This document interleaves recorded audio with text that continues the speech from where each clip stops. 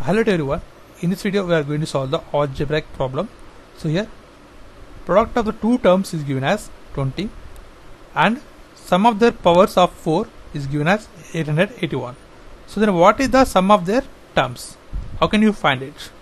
So we know that x plus y value can be find so from this. So if you square it, it becomes x square plus y square plus 2xy.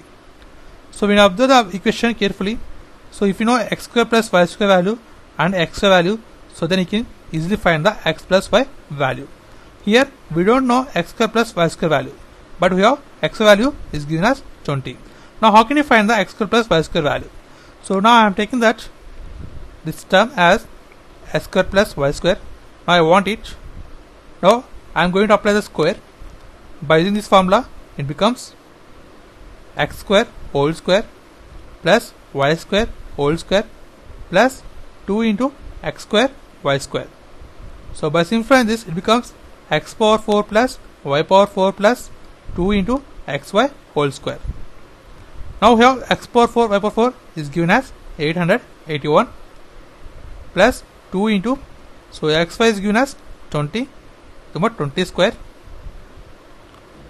So x square plus y square whole square equal to so by simplifying this we get 1681 by further simplification we get x square plus y square equal to 41 now here x square plus y square value now substitute in this equation.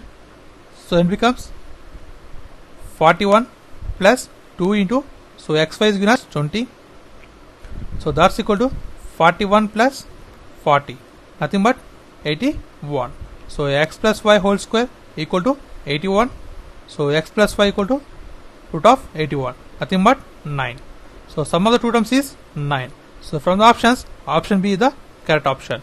And this is the process of simplification. And thanks for watching. Please subscribe like share. Thanks